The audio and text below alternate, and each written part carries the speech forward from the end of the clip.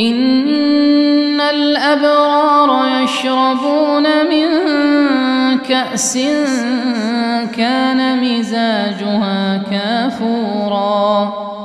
عينا يشرب بها عباد يفجرونها تفجيرا. بير بالمعطور مشروع الحياة صدقة جارية الروح المرحوم عبد الهادي نايف وتد وعن زوجته المرحومة فوزية فارس جراب وتد جت المثلث.